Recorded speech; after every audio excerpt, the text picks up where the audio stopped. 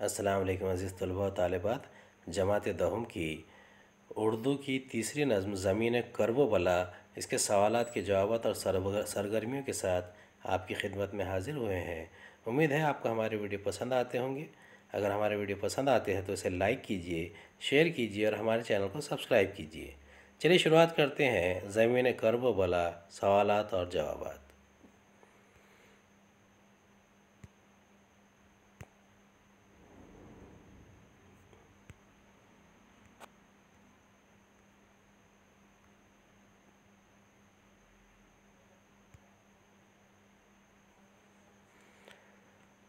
पहला सवाल है, नज़म ज़मीन करबला की सिनफ लिखिए, मरसी की किस्म के नाम लिखिए। मरसी की किस्में यानी इसमें दो नाम लिखने हैं। नज़म के शायर का नाम और नज़म का माखज़ लिखिए।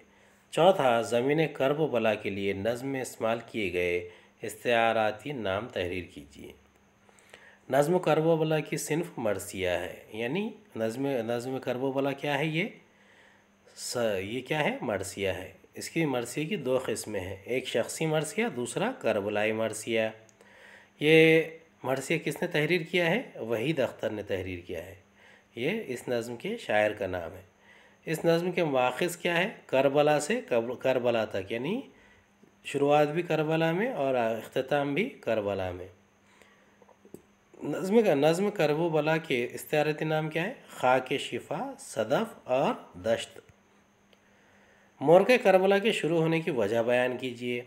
छठा, मरसिए के इस जुज़ का नाम लिखिए, जिसमें जंग के अहवाल बयान किए जाते हैं। सातवां, नज़म में इस्तेमाल की गई दो तजबीहों की वजाहत कीजिए।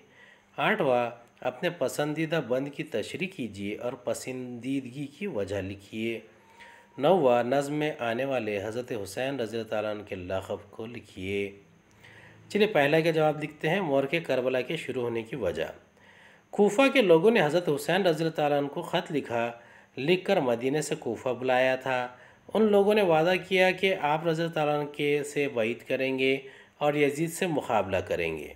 आप रज़ी तन रवाना हुए। आप, आपके साथ ख़ानदान के बेहतर अफराद, बहत्तर अफराद थे, जिनमें औरतें, बच्चे, बूढ़े सब शामिल थे। ये काफ़िला दरियाए फ़रात के किनारे खैमाजन हुआ। हथियारों से लैस यजीद का लश्कर आन पहुँचा। इसने काफ़िले को घेर लिया। आप रज़ा तलन और आपके साथियों ने बैत से इनकार कर दिया। दुश्मन तकलीफ़ देने लगे और मोरक़ करबला वखू पजीर हुआ। चल गया, अगला सवाल का जवाब देखते हैं। मैदान करबला के वाक़ात रिज़म, रज़म इस हिस्से में बयान किए जाते हैं। यानी मैदान करबला के वाक़ात का हकाय में बयान किए जाते हैं, रज़म में बयान किए जाते हैं। सातवें का जवाब? नज़म में सहरा को दिल हासिद और दरिया को कम ज़र्फ़ के वादे से तजबी दी गई है। हासिद का दिल छोटा और तंग होता है। इस तरह दुश्मनों के नरगे में घेरने के बाद सहरा भी छोटा महसूस होता है। दरिया पर चूँकि दुश्मनों के पहरे थे, इसलिए किनारे तक पहुँचना काफ़िले वालों के लिए मुश्किल था। दरिया की मिसाल कमज़र्फ़ के वादे के जैसी थी। जिस तरह कमज़र्फ़ वादे से फिर जाता है, दरिया भी वादे से फिर गया था। चलिए अगला देखते हैं, पसंदीदा बंद कौन सा है? ये देखिए पसंदीदा बंद है। जब कज़ब की बैत से किया सदक सदक ने इनकार। सौदागर खूँ जिस्म पे सजने लगे हथियार। मैदान में लगे असलाह जंग के अंबार। शरहक के मुकाबिल हुआ आमाद पैकार। ख्वाबीदा ज़मीरों ने किया जब्र से सौदा। बेदारी ईमान ने किया सब्र से सौदा। चलिए इसकी तशरी करते हैं। इसका जवाब है, हज़रत हुसैन रज़ी तला ने यजीद के हाथ पर बैत करने से इनकार किया। तो यजीद के सिपाही हथियार सजाकर मैदान में उतर आए। मैदान जंग में हर तरफ़ जंग के हथियार दिखाई देने लगे। बातिल हक़ के मुकाबला खड़ा हुआ। इनके दिल रहम से आरी थे। अहले ईमा बातिल के मुकाबले में थोड़े थे, लेकिन ईमान के जज्बे से भरे हुए भरे हुए थे। वो सब्र तहमुल से एक एक करके जाम शहादत नोश करते हैं। हक़ व बातिल की इस लड़ाई को मौरख ने रकम करते रकम करते हैं। इस बंद में हक़ व बातिल के माबैन तसादम को तहरीर किया गया है। तारीख़ इंसानी का एक दर्दनाक वाक़ है। ये वाक़ हक़ परस्तों के लिए मशाल रहा है। चलिए अगला सवाल देखते हैं। नज़म के किसी बंद के रदीफ़ और ख़ाफिय तहरीर कीजिए। अब यहाँ पर एक बंद दिया गया है, इसका मफहम लिखना है। दम भी ना लिया था कि उमड़ने लगे आधा दिल की तरह आँख बदलने लगी दुनिया। छोटा, छूटा दिल हासिद की तरह हो गया सहरा। छोटा दिल हासिद की तरह हो गया सहरा। कमज़र्फ़ के वादे की तरह फिर गया दरिया। गुलशन से निकाला गया फूलों का सफ़ीना। फिर रेत पे आ ठहरा शहीदों का सफ़ीना।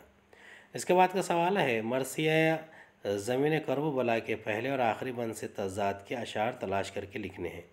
देखिए, इसके पहले शेर में तो पहले बंद में तजाद के अशार नहीं है, लेकिन आखिरी बंद में हम उसे करेंगे सरगर्मी में। नज़म में आया है हज़रत हुसैन रज़ी तन का लखब जो वो शबीर है।